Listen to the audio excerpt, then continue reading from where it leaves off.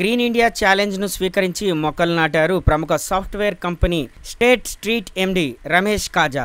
Rajya Sabha సభ్యులు జోగినపల్లి సంతోష్ కుమార్ ప్రారంభించిన green India ఛాలెంజ్లో భాగంగా సైబరాబాద్ పోలీస్ కమిషనర్ సజ్జనార్ ఇచ్చిన ఛాలెంజ్ను స్వీకరించి ఈరోజు చందానగర్లోని చందానగర్లోని తన నివాసంలో మొక్కలు నాటారు ప్రముఖ software company State Street MD Ramesh Kaja. Green India challenge వాతావరణ కాలుష్యాన్ని నియంత్రించడానికి తోడ్పడుతుందని ఇంత మంచి కార్యక్రమాన్ని చేపట్టిన రాజ్యసభ సభ్యులు సంతోష్ కుమార్ కు అభినందనలు అని తెలియజేశారు. ఈ సందర్భంగా ఆయన మరో ఇద్దరికి మొక్కలు నాటాల్సిందిగా గ్రీన్ ఛాలెంజ్ విసిరారు. హెచ్ఎస్బిసి బ్యాంక్లో హెడ్ ఆఫ్ ఆపరేషన్స్గా పనిచేస్తున్న Mamata Madireddy Bank of America senior vice president Sangeetha కుమార్లను green India ఛాలెంజ్ను స్వీకరించి మొక్కలు నాటాలని పిలుపునిచ్చారు.